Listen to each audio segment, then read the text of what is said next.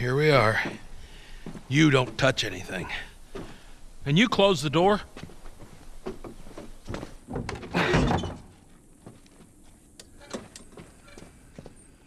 Let's gear up. Uh-uh. What? I need a gun. No, you don't. Joel, uh, I can handle myself. No. Just stay here. it's Fine. Just wait around for you two to get me killed. Well, this goes on record as the worst fucking job you've ever taken. It's up there. How in the hell is Tess okay with this suicide mission? It's actually her idea. Really? Well, the broad's not as smart as I thought she was.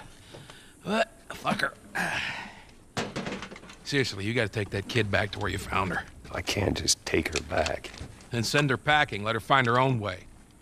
Look, let me tell you a story. Once upon a time, I had somebody that I cared about. A partner. Somebody I had to look after.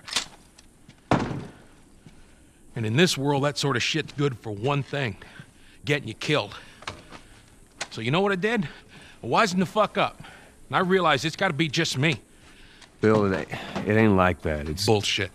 It is just like that. Hey! What'd I say to you when we walked down the steps? What'd I say? I'm just fixing your stupid pile. Don't touch. God damn it. You keep babysitting long enough, and eventually it's gonna blow up in Bill. your face. Can we please just get on with it? Here. Let's get on with it.